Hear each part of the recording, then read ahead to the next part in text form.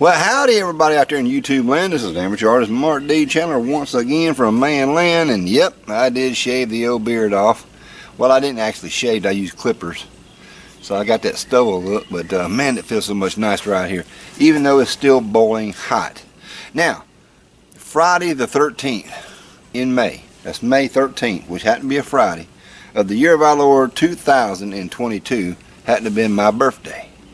So I kind of bought me some fajita pans that I found there at the Common Sense thrift store and I was very ecstatic to get them. However, on Friday when I got home, Wee and them decided to give me some gifts. Now before I open this right here up, I got to show you inside the house one that Wee Wee homemade just for herself. To me. Here inside the man cave, this is what we made for me. I tell you what, she's good at crafts and stuff now. She made me this little, like kind of like MASH. You know, MASH, they had that totem pole where the sign says, uh, I live this way and uh, Honolulu this way and everything. Well, there's a man manly camp. And uh, Wee Wee's Corner. I know, she spelled it in French. I know what the hell that meant when I first met her. Oi, oi, oi. And then, uh, of course, the Manlands Bushcraft Kitchen. Oh, and by the way, she did another craft item for me a lot earlier. And uh, I don't own an actual camper, but I thought that's just pretty daggum neat. Nice little addition. I like that. It, uh, it, of course, ain't going outside either. Now to try to keep this video short, I'm going to go ahead and let you know that Wee Wee is very creative. She's got imaginations. And she's into this arts and craft type of thing now, which I think is pretty daggum neat. Wow, I could go on and on about it, but uh, maybe in another video. But Wee Wee was happy for me to get home on my birthday night and uh, check out the pink camouflage. well, inside she bought me one of these tong turners. And uh, got a spatula and a tong flap. She says I remember or I know how much you hate using them tongs trying to char uh, turn them and, uh, and, adjust and move around them them uh, charcoals. I'm like yeah. Because an actual grill tong is so flimsy you can't even pick up a charcoal briquette, briquette and put it to the side. You can't, they're too wimpy, man. They're too wimpy. So this was a, one of the things that she gave me. This one right here is a light mix, which is an LED deal here that uh, you put batteries in there and they kind of like uh, light up your area. And I thought that was kind of neat because we have used the one that Ranger Cookie gave me before and uh, had some fun with it. And it was all, all kind of fun. So I appreciate that. That will be used, especially at night when it's not so damn hot. Huh. But the third item is something that she kind of homemade it herself. I think it's homemade. It looks like it's homemade. Yeah, definitely homemade. Anyway, this is a solar lantern, lantern and that's definitely going to come in handy at nighttime out there at one of the two of the camps because solar power if you can charge these puppies up in what is evidently now a supercharged up day with the heat yeah it's gonna work good at night. But I don't know if you can see that filament in that bulb or not too good but that is a weird looking LED thing there. I've never seen LEDs done like that. Then according to Wee Wee and I'm going to pick this one up here it was wrapped in a shallow box, but it's got brown puppy dog prints on it. So, oh, tape stuck in it. Alright. I got one of them grill trays right there. I think this is a Flame Flame Go. I thought it was charbroil, but anyway, Flame Go. And they, they say this is good stainless steel. Not stainless steel, good heavy metal. But it's wimpsy, wimpsy. It's about like a pizza pan. But it's got all them holes in it and that allows the smoke to come up through when you're cooking delicate items like shrimp or maybe some asparagus and you do it on the grill. Yeah, kind of neat daggum thing. Matter of fact, if I don't quit blinding, oh, blinding myself, I may actually use this during my fajita cookings that I'm going to do here shortly after this video. And she also gave me some flame Flame Go wire. Uh, there's two of them. These are the wire things you put on the grill. That does technically the same thing as this one does, but this is a surface is a lot more, shall I say, disposable. And allows a lot more smoke to come through. Which I'm not a, I'm not a great fan of smoked food all the time. Uh, yeah, I'm kind of like in the pioneer days. You know, pioneers used to cook on uh, wood-fired wood-fired fire all the time. You know how they must have got sick and tired of tasting smoke on everything, especially their clothes when they were cooking. And they had to go to bed because they didn't have running water to take a shower every night. They had to go get it out of a well. Then they had to heat the water up on the same daggum fire that has smoke in it. So now you got smoke flavored water you're taking a bath with. Yeah, I'm just not a fan of smoke flavor all the time is what I'm trying to say. Then I got this here package, which is unopened, from, uh, apparently it was Bones Yard. I would turn around and show you his address, and I would show you my address, but uh, he, this boy here, he don't even know where he lives at. He, he can't even spell. Anyway, uh, it says here on the side, says open on this side only, or something like that. So here's the unboxing. Yeah, he left a message on here. It says, please record unboxing, and then a smiley face at the end. So, here you go, Mr. Bones Yard, aka TC. Uh, where's that pool tab at? Hey, there ain't, there ain't no pool tab on this thing. So, I'm to have to do it this way.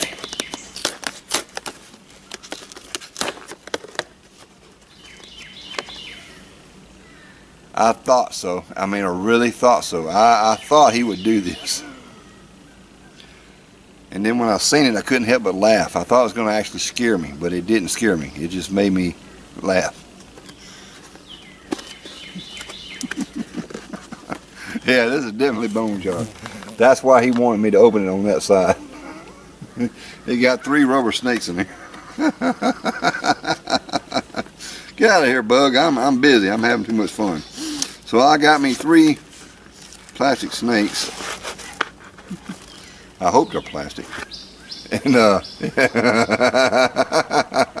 Yeah, only bone jar would do something like that, I tell you. I really thought he was gonna put snakes in the end of it and I was gonna jump when I opened it up and I'd be damned if he didn't put some snakes in there, but they look fake. So I didn't jump. But that, that was pretty daggone cool. That's why he wanted me to open that side there first. So uh, I'm gonna grab this big box out of here first. Wait, wait, I think there's a, nope, there's something, yeah, there's something in there. Hey, happy birthday cakes. All right. I, I could have used these, I really could have. But um, we, we and them bought me an ice cream cake and I got one slice out of it and that was the day after my birthday and the rest of it's gone. They, they ate it all. They ate my birthday cake.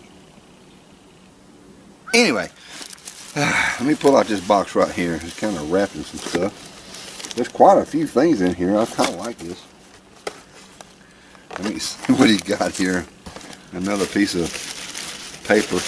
Hey, Bones, Bones, Bones, the Bones Yard, man. I tell you, man, that this was a three-day mail-in, three-day shipping, priority mail for $16.10.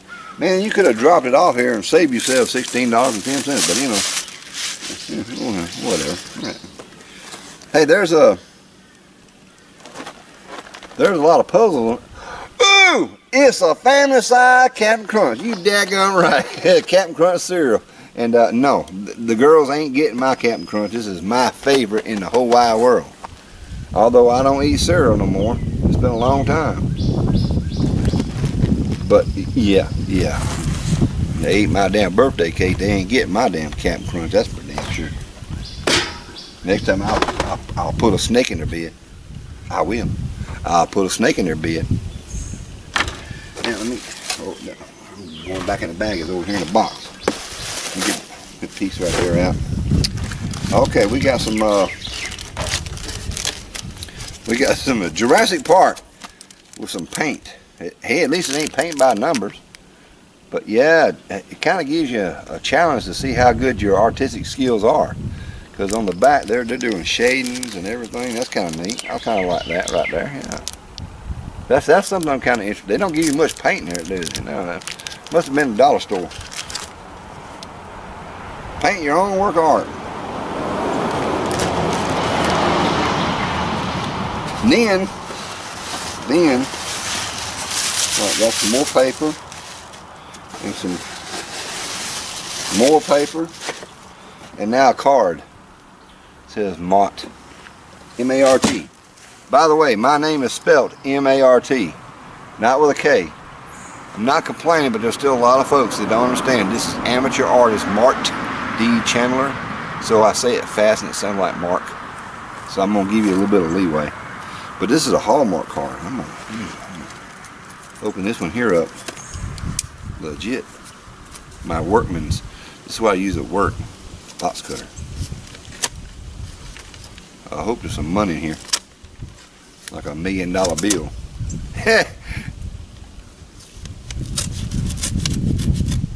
Probably be Monopoly money. Anyway, I was I was really expecting some army in here, man. I really I really was. I was I was gonna expect some army men. Uh gotta check for pennies too, man. Might be some pennies there, huh? Yeah. Ain't no money so far. But here's a card. It says Happy birthday party source. And it's a genuine Hallmark card because it says so on the back. Expressions.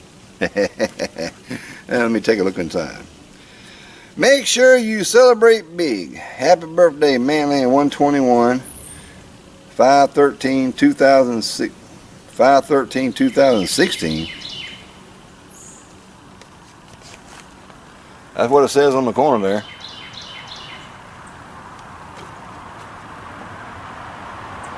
I don't get it. This is 22, 2022, but anyway, there's a. I really, I really don't get it. 5 13 2016 are you sure the Yankee didn't do this you don't even know my birthday is 1967 I was born in 67 which makes me now yeah the double five double nickels that type of thing you know you remember back in the day when you used to be, be able to buy a Coca-Cola for just a nickel? I don't. I wasn't born way back then. I was born in the old cool school days, which is now 2022. But I was born back in 1967, so yeah, I'm a 60s baby. Kind of lettered, lettered in midway. But anyway, that's the unboxing. This is the show, and I sure do appreciate it, Bone of Bones Yard and Wee Wee or Wee Wee World, and to her daughter Christy. Uh, and I'm thinking the Yankee actually had a hand in this. I really do. so until next time, wishing you and y'all a very happy YouTube experience out there, and remember this. This is Amateur Artist Mart D. Chandler once again from Man Land. And there's two of the culprits showing up now. They just pulled back from going to uh, somewhere in the cemetery, a yearly thing for her dad and all that stuff. You know, he passed away, and it's kind of a sad thing. But anyway, I think I'm gonna give him a snake. All right, Bones. You got me. I was getting ready to fix me a bowl of some good Captain Crunch. Till I open up the package.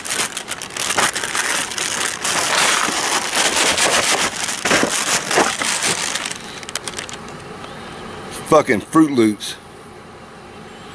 You motherfucker. Here, wee wee. What? This your damn brother-in-law. No, no, I ain't no kin to him no more. Oh, shit. That, that. Uh, in the heart, but not on paper.